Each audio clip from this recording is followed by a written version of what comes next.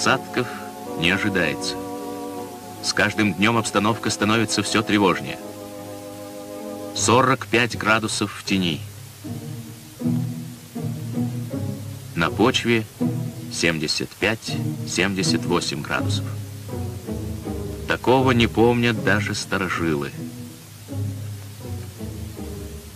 Пять южных областей – Чемкенскую, Джамбулскую, Алматинскую, Талдыкурганскую, Ксилардинскую – точно пожаром охватила ранневесенняя засуха.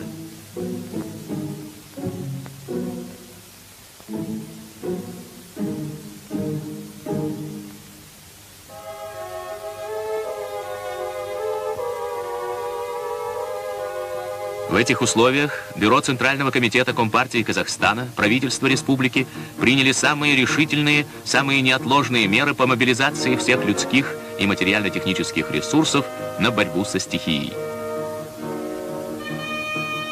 Создана чрезвычайная правительственная комиссия. Обкомы и райкомы партии – Облсполкомы и райисполкомы, первичные партийные организации широко развернули организаторскую и массово-политическую работу среди сельских тружеников, работников промышленности, транспорта, строек, повседневно направляя энергию и опыт трудящихся республики на преодоление возникших трудностей. Главная задача – обеспечить кормами и водой общественные стада животных, многомиллионное поголовье – Взят курс на всемерное увеличение площадей кукурузы на силос, как на поливе, так и на багаре.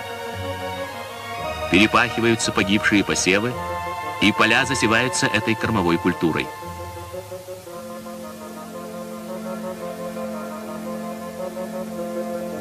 Приводится в готовность сеноуборочная техника.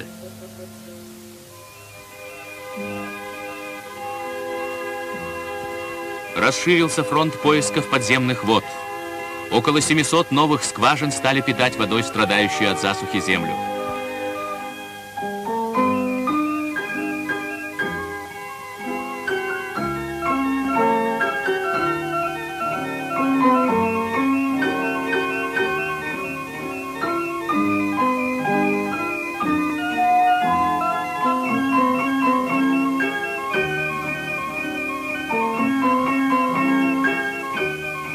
Пастбища и поля тянутся водоводы.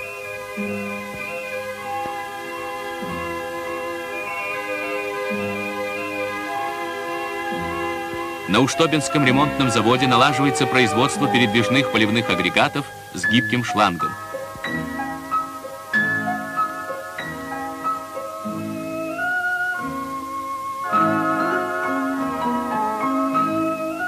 Взяты на учет все имеющиеся водоисточники – Круглосуточно используется вся поливная техника. Самоотверженно, с высокой ответственностью трудятся люди.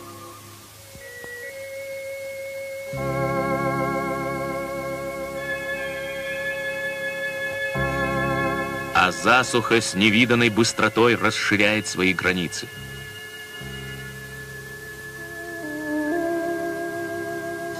Горят под палящим солнцем травы, гибнут посевы зерновых в Уральской, Актюбинской, Кустанайской областях.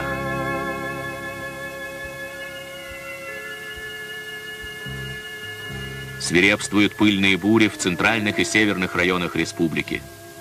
Если проводить историческую параллель, то нечто подобное происходило в Казахстане в 1879 году – Тогда пало от бескормицы 65% скота. Ныне, в этих крайне сложных погодных условиях, республиканская партийная организация принимала все меры к тому, чтобы не только не допустить уменьшения поголовья, но и не снизить его продуктивности, обеспечить кормами предстоящую зимовку. Этот вопрос был специально рассмотрен на пленуме Центрального комитета Компартии Казахстана. Травы в большинстве хозяйств низкорослые и изреженные. Поэтому уборка сена ведется с особой тщательностью, на низком срезе, исключая потери. Качество уборки – первостепенное внимание –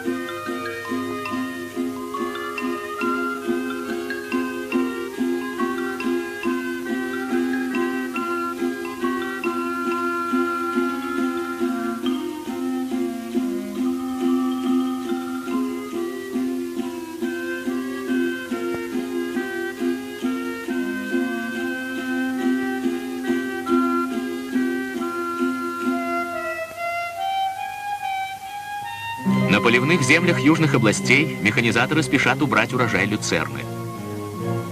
Взять на орошаемых участках по три и даже четыре укоса трав – вот задача года –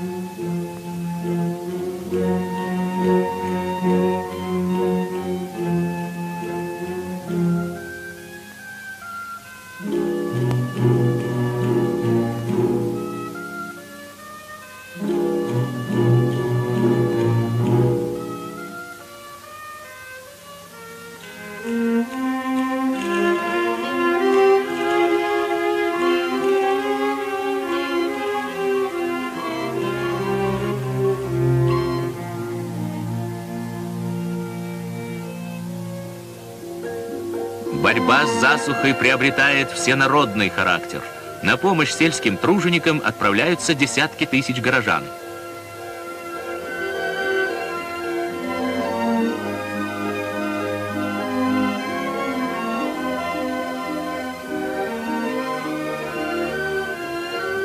Изыскиваются новые резервы заготовки зеленой массы.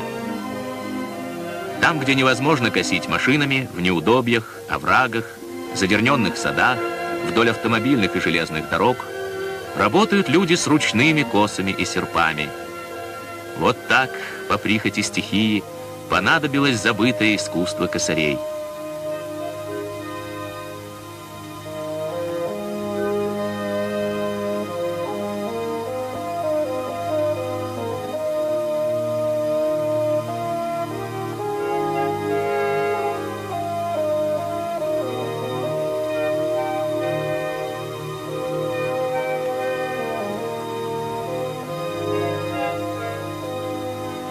Полевой штаб заготовки кормов.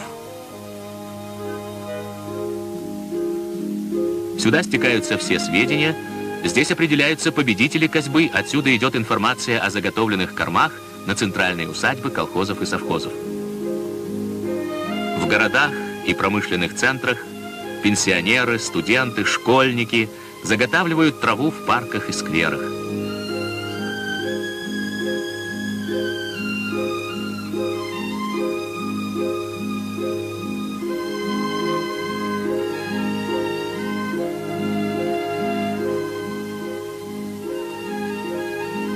Вся скошенная трава сдается на базы приемки.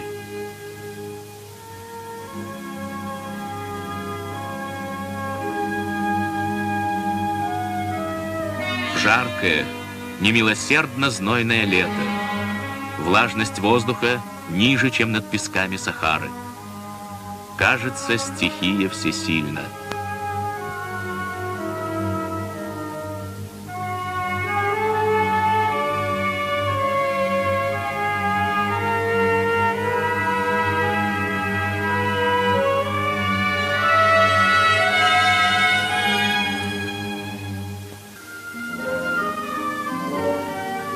Многих хозяйствах уже выкошены все угодья, а дефицит кормов по-прежнему огромен. Чем его восполнить? Сенокосные бригады перебазируются на озера и некошенные топи. Местные мастера-умельцы приспосабливают для козьбы камыша гусеничные тракторы, кукурузоуборочные комбайны. Для покосов широко используются моторные лодки –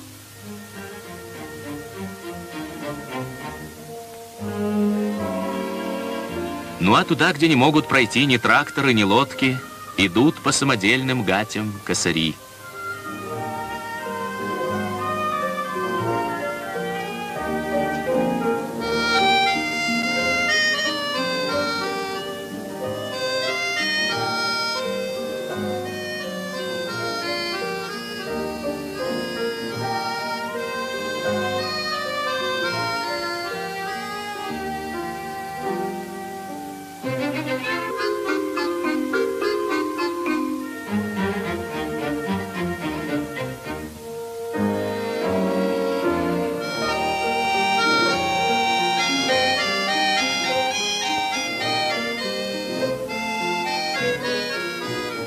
Весь скошенный камыш по тем же гатям выносят к проложенным дорогам. Здесь его грузят на машины и отправляют на переработку.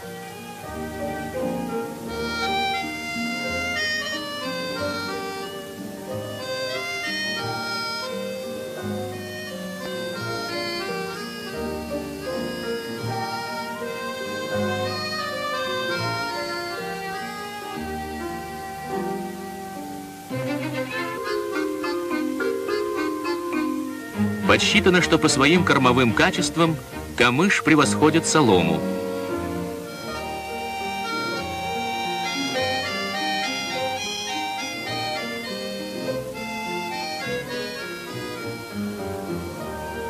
Из него приготовляют отличный сенаж, муку и гранулы.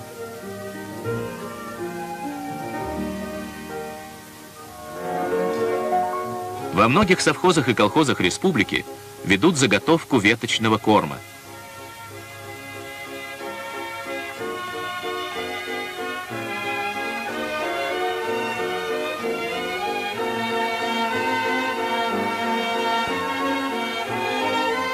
Лесхозы оказывают помощь в заготовке хвойной муки –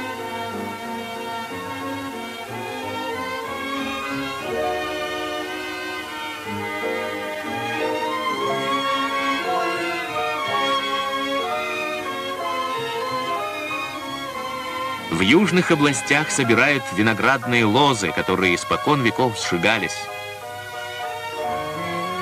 Все это перерабатывается, превращается в гранулы, муку и в таком виде обогатит рационы кормления животных и птиц.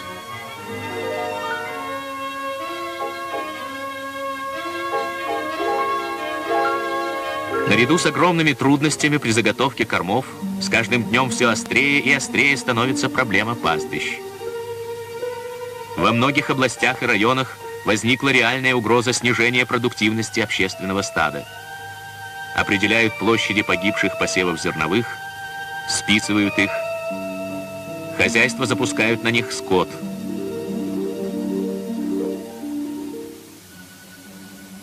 После стравливания механизаторы дискуют эти поля, собирают остатки соломы.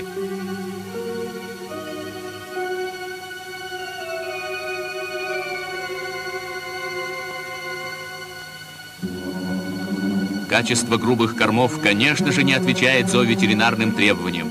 Поэтому все заготовленные грубые корма пойдут скоту только в приготовленном виде. Эту задачу выполняют кормоцехи. Ускоренными темпами в этом трудном году велось строительство и ввод в действие 1750 кормоцехов. В Североказахстанской области впервые в республике был сооружен цех амидоконцентратных добавок – в котором при помощи экструдера стали производить обогащение кормов мочевиной.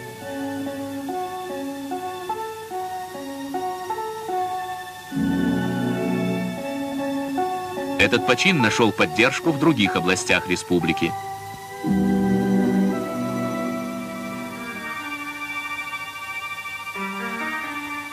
Вот они, плоды засухи. Низкорослые, изреженные хлеба. Но не снизилось упорство, мастерство хлеборобов. Максимально собрать все, что удалось вырастить в этом неожиданно трудном году. Бережно, истинно по-хозяйски убирается не только зерно. Оборудовав соломокопнители, механизаторы убирают с полей всю солому и полову. Потери ее нынче недопустимы.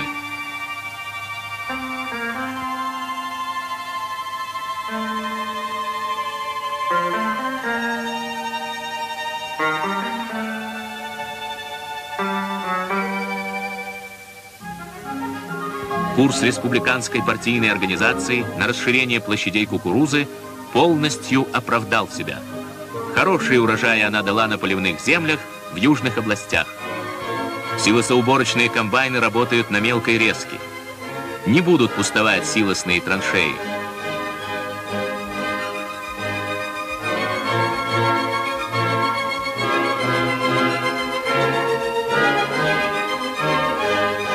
Из кочерыжек кукурузы приготовляют муку.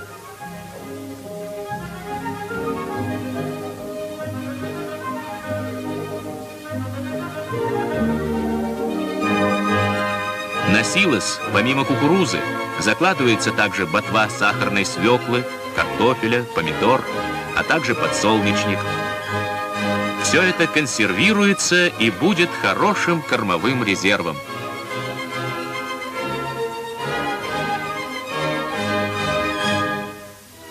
Кормовой баланс в областях и районах республики сложился крайне неоднозначно. Бюро Центрального комитета правительства республики, основываясь на точных расчетах, приняли решение о перераспределении кормов между областями. Наиболее пострадавшим от засухи Актюбинской и Кустанайской оказывается помощь грубыми и сочными кормами в первую очередь.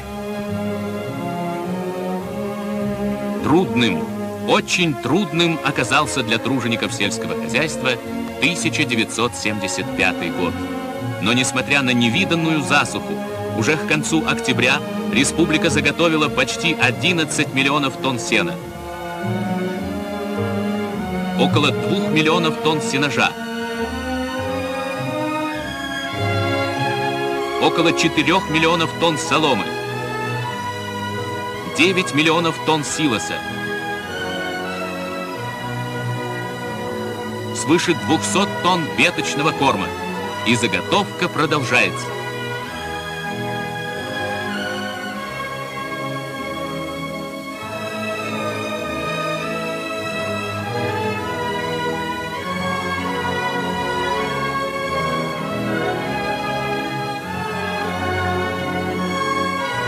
общественному стаду республики будет обеспечена надежная зимовка –